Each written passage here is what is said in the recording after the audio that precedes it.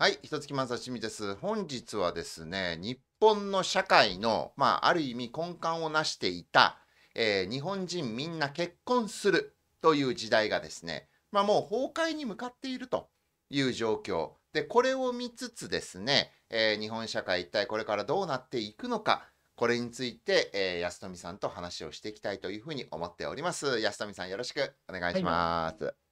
やっぱ東京大学のね偉い教授さんとですね、えー宝塚の闇とかジャニーズの闇とか木原誠二の違法本番風俗100回はいかがなものかとかですねあまあまあそういう話ばっかりするんじゃなくてたまにはちょっとなんかあのーし日本の将来みたいな、あの大冗談に構える話もいいのではないかなと。まあ、いつも実はそういう大きい話をしているんですけども本日はまあ例え話抜きでその話をしてみるのもいいかなと思いましてで最近ねあのこんな本読んだんです。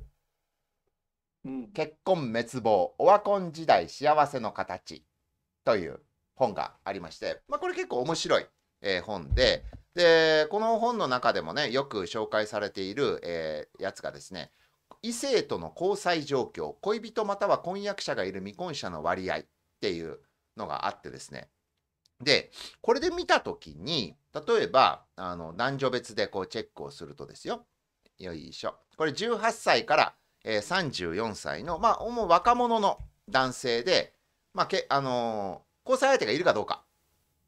これ、常に大体20%ぐらいなんですよ。大体。何年からです1980年からです。うんで、直近の2020年まで。うん出生動向基本調査によって、えー調査されてるらしくって、で、これがね、あの多分5年に1回ぐらいの,、うんあの大規模な調査なんですよね。国がやってる。はい、国がやってます。これは。いいで、えーこれをこう見たときにですね、次に女性もチェックすると、はい。まあ、女性の方が若干高い。若干高い。だから年上と付き合ってるんでしょ。年上と。ああ、うん。っていうのと、あの男の方が人口総数で見たときに、確か男性の方が数パーセント上なんですよ。割合がね。男女の割合、人口。これ人口の割割合があの男性の方がちょっと多いんですよ。ちょっとだけ、ちょっとやね。うん。数パーセントも多くないと。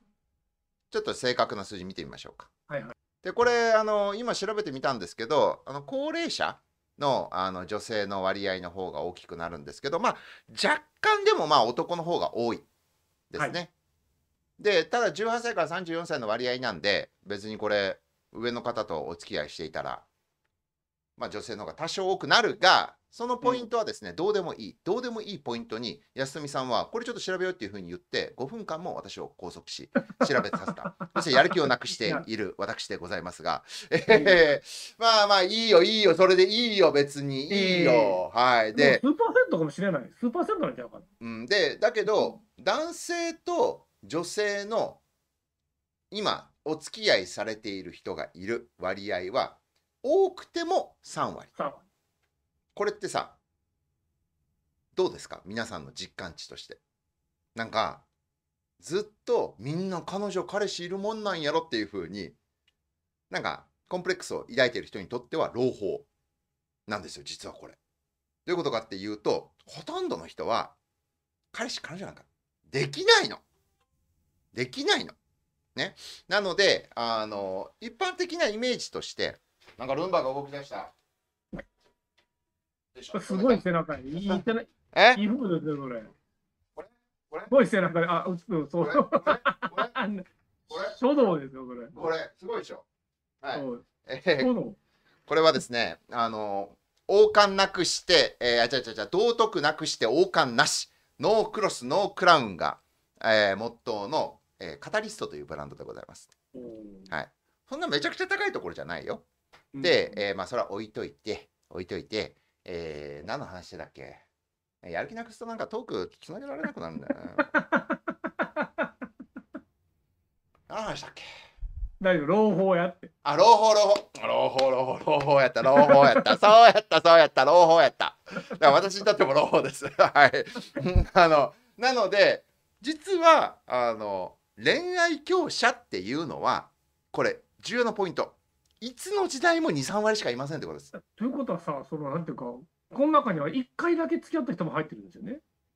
あもうそうでしょうね。あいやでこれはねあの、今あいるかどうか今いる人。今いるかどうか。ああ、うんそうするとまあちょっと付き合ったことがあるってなると、まあ、そこそこ増えるわけです、ね。で、えーただ別のねあれで20代男性の童貞率うん。が3割か5割かなんかそういうの見たことあるので。それだからあのプロプロ込みで。え？プロとかあの考えられないです。普通の人は。普通の人は。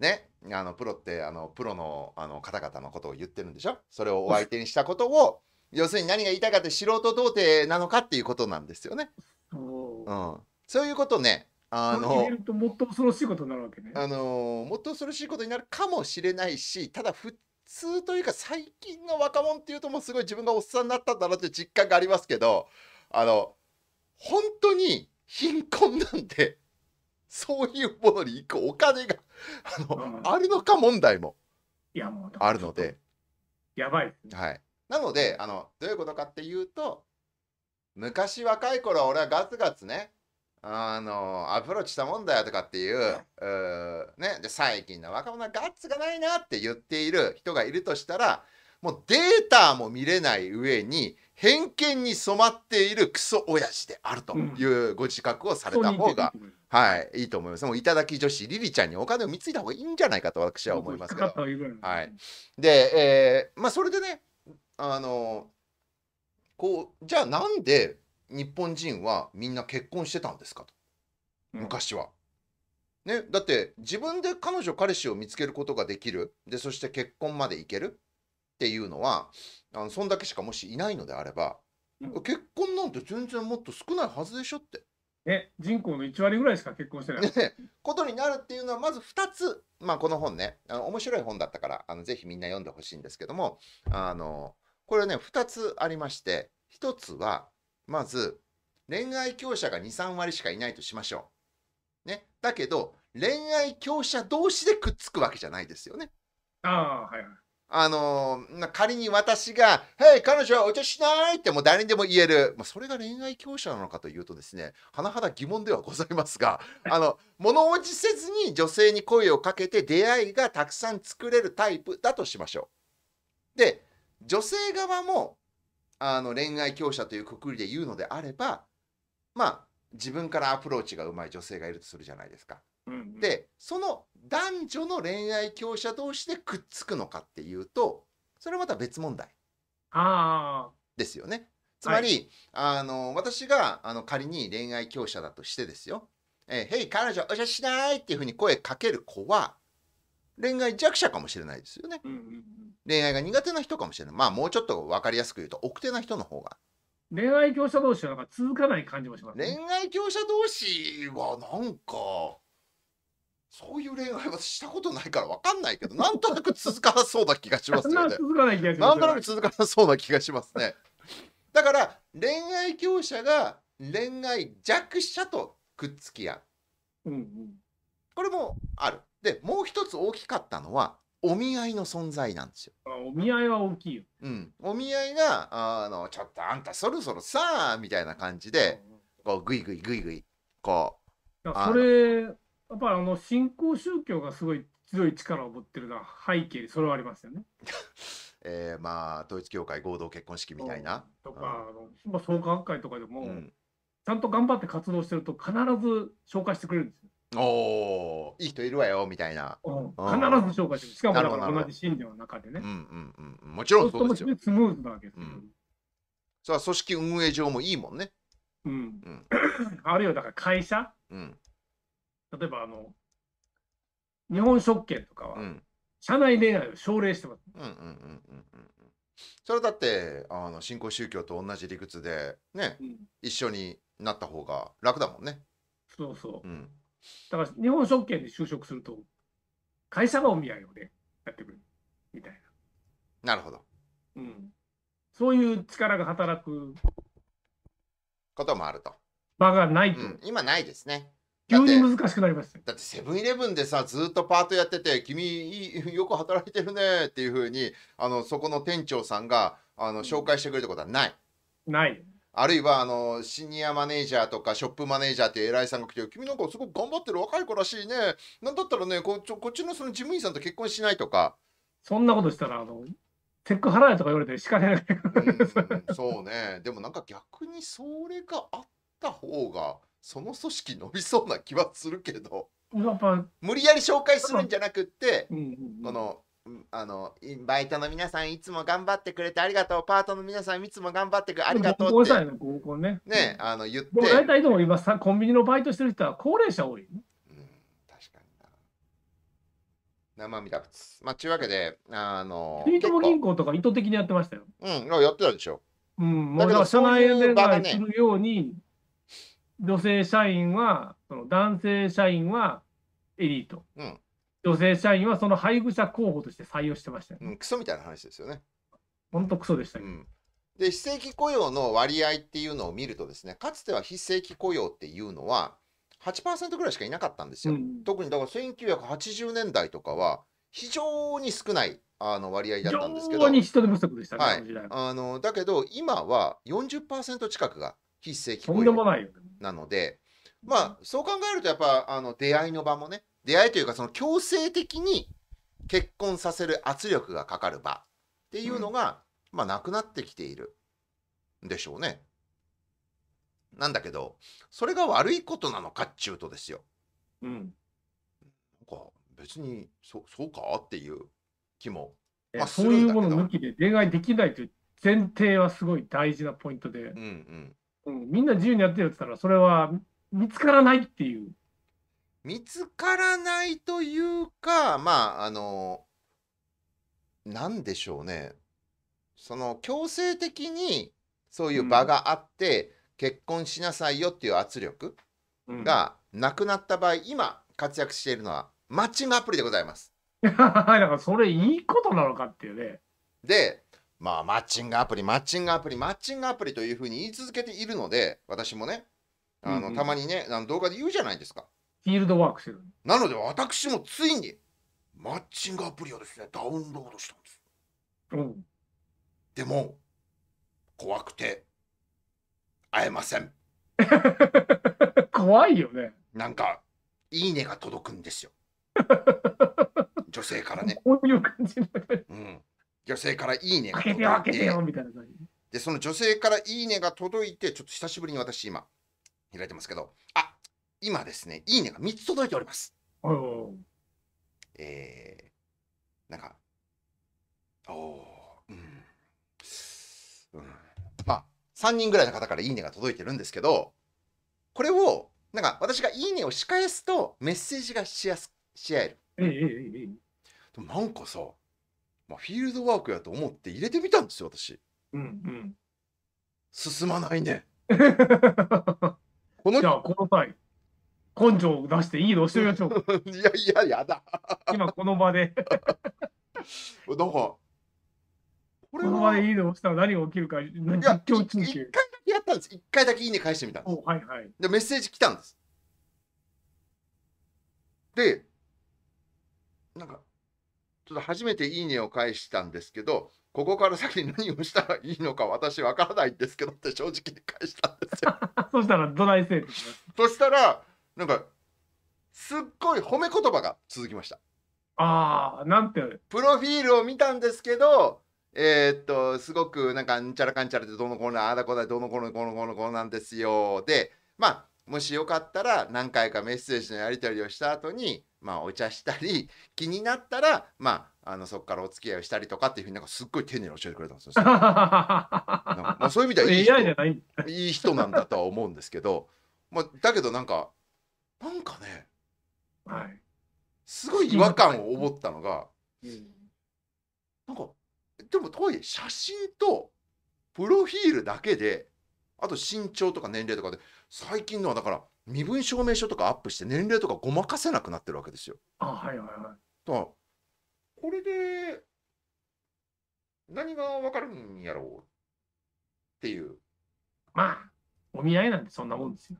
ので私は進めなかった見合いのこんな、こんな写真しか来ないの。うん、で進めなかったんだけど立証しか来ないの。でねでそれでマッチングアプリっていうのは、まあ、この本にもあのこの本の著者もねあの書いてたまあ面白いんだけど言ってた恋愛強者がより強くなるだけのシステムだって。え、そりゃそうやわな。うんで余計難しいよ。でさらに恋愛強者がそれで幸せになれるのかって言ったらさむしろ不幸になるんじゃないかなって。あの恋愛強者っていうのは、まあ、基本的に症状です。うんそうね。あのこれ大事なポイントでね、うん私もこれに気づくのにだいぶ時間かかりましたけど、うんこうモテるっていうのは症状なんですね。うんその精神的なこのあるタイプの大脳を抱えている人間が、うんなんか恋愛しないと生きていけないとか状態になると、うんモテるようになるんですよ。まあそういう絶対モテてる人イコール精神的奥のを抱えているのかっていうとまたそれは別ですけどそういう傾向はあるとは思いますよ。大脳を抱えているとモテるようになるっていう。うんいやー最近すっごいモテて人気者のね男性集団の事務所がすごい大変なことになってるんですよね。そうそうそううん、ものすごい奥のを抱えていたんだと思います。そうそう、すうんごい。だから、それ症状なんてね、ある意味ね。で、あの、ある時だから、あの、なかなか彼氏できへんねみたいな人から聞いて、話聞いたら、うん相談乗ったのうんどうしたらいいんでしょうって言って、話聞いて。あと、あんまり必要としてないんですよね。必要を感じないですって。うん、まあただ落ち着いてるだけやん。まあとはいえたまに寂しいから誰か一緒にいる相手とかいたらいいなそう。で、そんなんではね、無理です。もモテるっていうところまでいかないですねい。やこう喉から手が出るほどっていう状態になっていれば、必然的にそうなるんですよね。まあだけどうーんそれは大体ね、あの、そもそも不幸。だけど恋愛強者イコール全部ねその奥のを抱えているな大脳を抱えているんだというふうにまあそうか？っていう気はするけどね私は。あ、そう。うん、ちょっとなんかそのなんか安富さんの理屈って基本的になんか成功してるやつはみんな闇を抱えているんだみたいな そうそうそれでもいやそんなこともだってそれを言うとじゃあ、えーっと恋愛強者が結婚しやすかったとしましょうよ。はい。で結婚したらそこに生まれた子供はみんな不幸でもう世の中全部仮面夫婦という世界観の方がそりゃそうに決まってるやんけって言いたいかもしれないけどもう安富さんそんな世界観だったら日本とっくに滅んでますから。ちゃんとした人もいるから。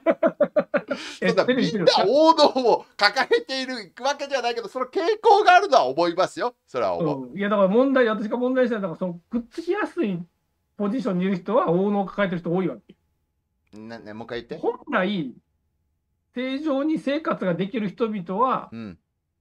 出会う場面が少ないわけ。だって自らあの喉から手をね、そうあの出そうとしないからね。そうそうそう。ということは、自ら手が出てるやばいやつはバンバン結婚できるけど、うん。ちゃんとした人は結婚しにくいって状態になってしまったら、これ社会にとってすごい怖いことですよ。いや怖いことやね。非常に危険なことです。だからもうちょっと考えた、だからあの、まあ、あの誰も知らないと思うけど、あのアーミッシュって私が研究しているアメリカのうん。ある宗教的にキリスト教のある得意な人たちで、あの電気使わなかったり、車使わなかったりする人たちは、うん。えっと、ほぼ全員っていうわけでもないけど、ものすごい、ほとんどの人は恋愛して結婚するんですよ。うん。自由恋愛うん。で、どうやってみんな自由恋愛してるのかっていうと、友達とかお兄ちゃんとかお姉ちゃんとかが伝言をしてくれるんです。清水さんが誰か A 子さん気になってるとすると、お兄ちゃんとかお姉ちゃんとかがあの子気になってんのかって聞いてくれるんで気になってるって言ったら、じゃあっつってその友達とかに気になってるらしいから、今度、その歌の会があった帰りとかに馬車で送っていってもらってなって言ってこう言ってくれる。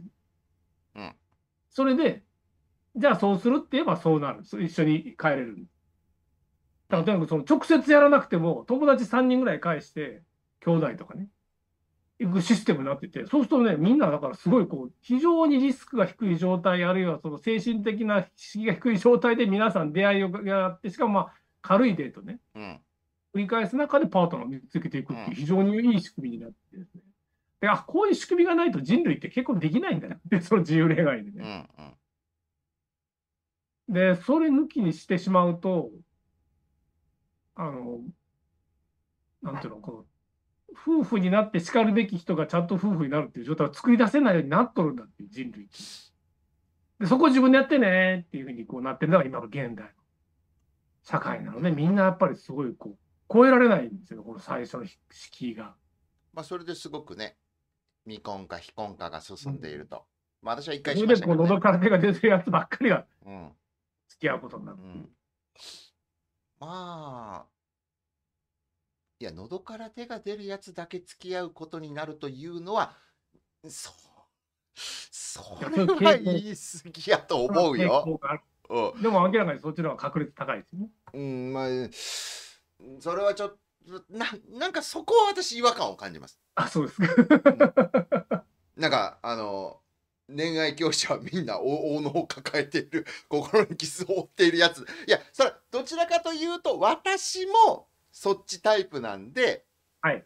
なんとなくそれは同意できる部分もあるけど、ええ私の知り合いで幸せそうに付き合ってる人たちを何人か思い浮かべると、うんうん、いや、別にあいつ大野を抱えてるからって。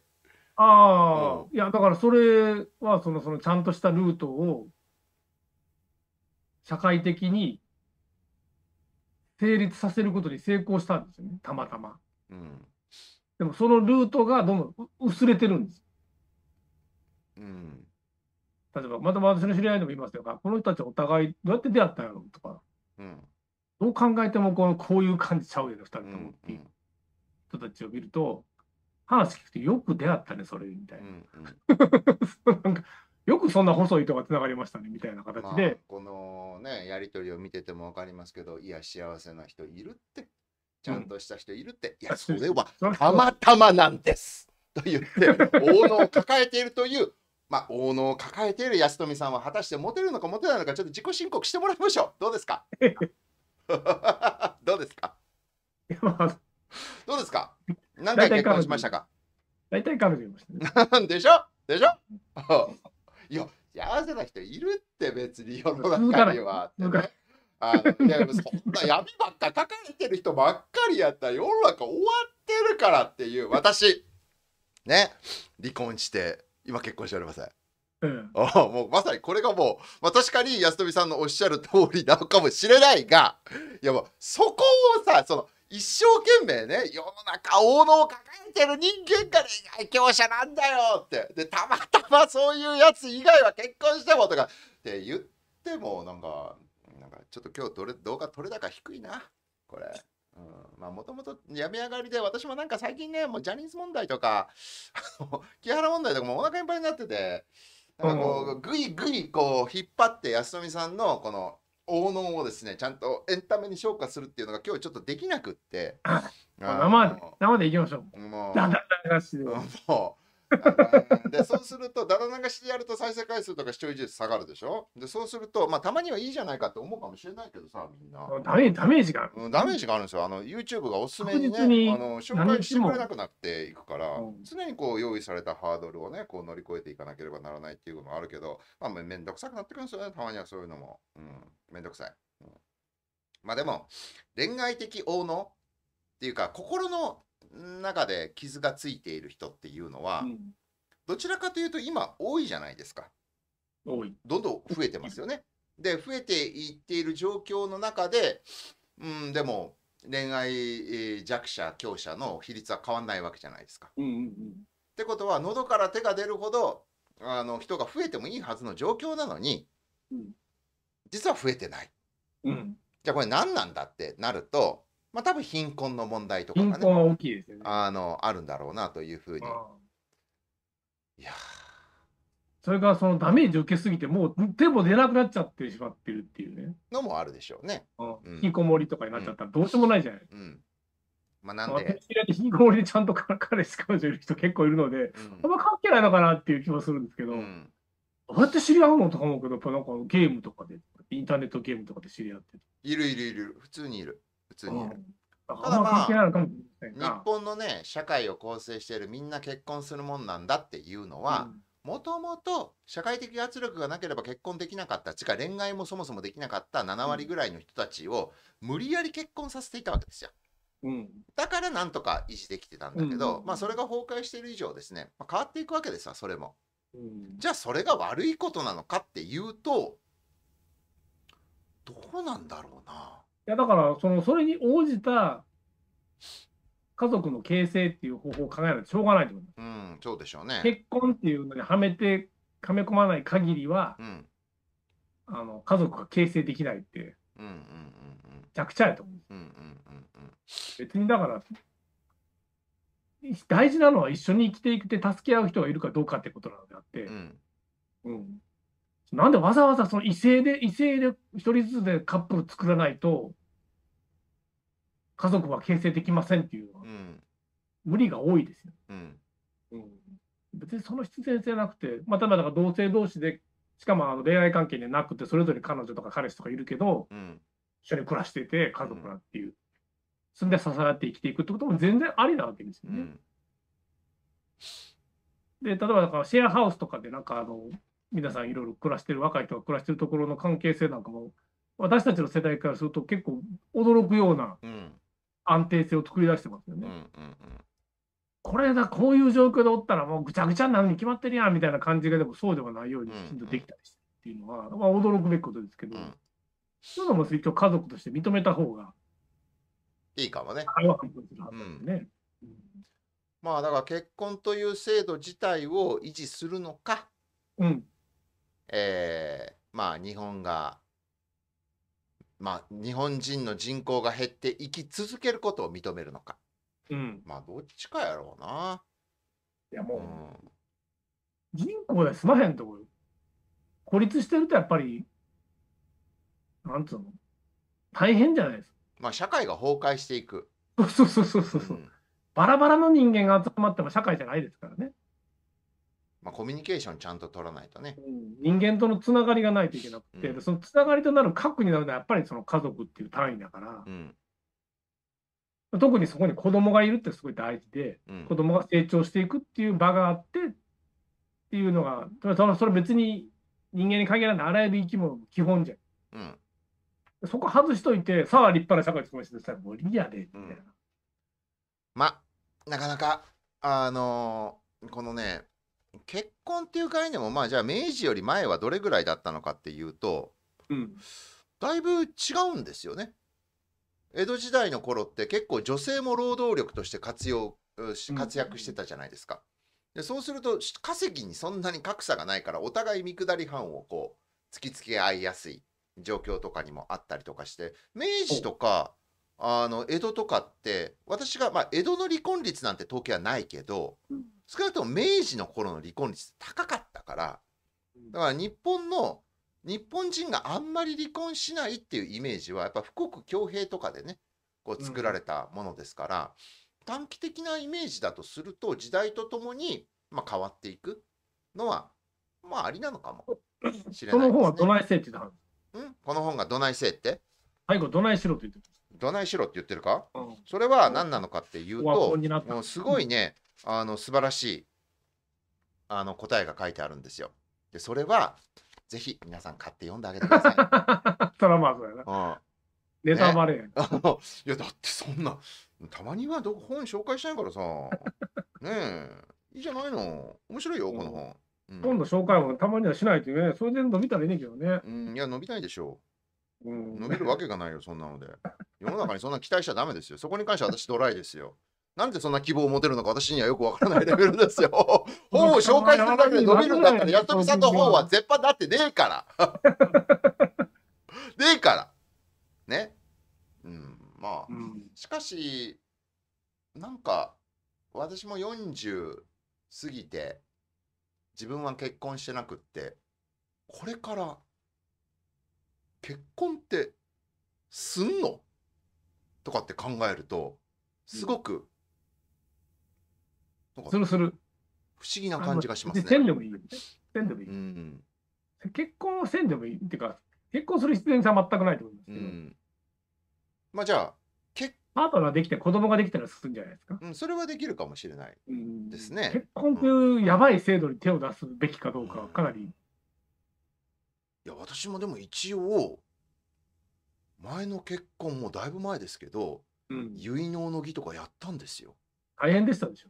きもうなんか、何が大変で別れるのが大変。もうなんか、この不登校時には居心地が悪い、この感じ。やめてみたいな感じだった。いやー、なんでね、今日は、なんか、実は、あと3分 あ、4分 ?4 分で大事な人の打ち合わせも入ってて、朝時間もなくって。